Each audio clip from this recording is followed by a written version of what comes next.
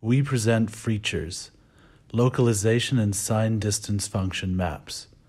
This work is a collaboration between the Autonomous Systems Lab at ETH Zurich and the Microsoft Mixed Reality and AI Lab.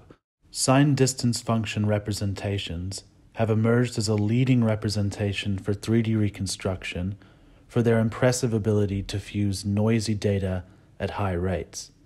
These images are from the seminal work KinectFusion.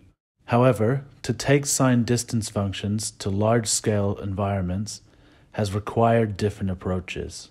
The map on the left is the product of our earlier work and is represented as a collection of submaps which are shown on the right, where regions of the same color represent a submap.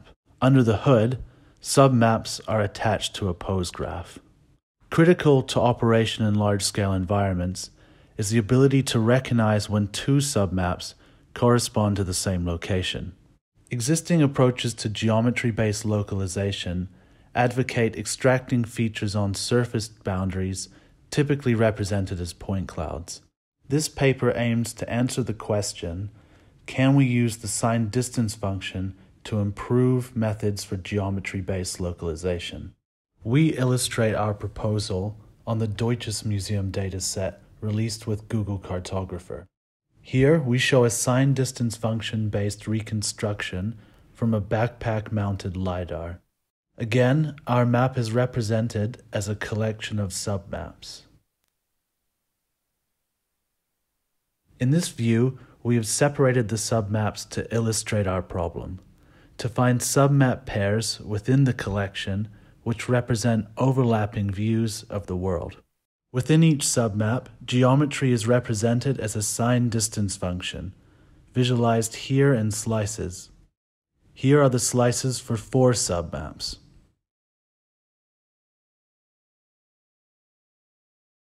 We extract features at locations with high distance function curvature. Here, we visualize the curvature in free space using a colored point cloud. The yellow striations indicate regions of high curvature. The red spheres represent interest points. As an example, these can occur in regions of equal distance between objects. The curvature in these regions is high because the distance in one direction changes from increasing to decreasing. Here we show curvature clouds from two submaps at the beginning and end of a trajectory. The red lines show corresponding features which led to a successful match. We show the versatility of our system by applying the same feature to matching fragments from the 3DMatch dataset after changing only a single scale dependent parameter. Lastly, we show results from our micro aerial vehicle, which is equipped with visual, inertial, and LiDAR sensing. In particular, we demonstrate the efficacy of our system for localizing a flying platform in a search and rescue training site. Here we show two maps built over two separate flights which partially overlap in the upper left hand corner. Note that the yellow map has been raised for clarity.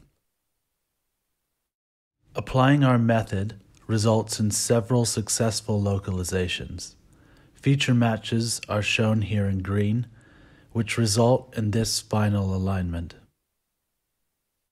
Thank you for watching.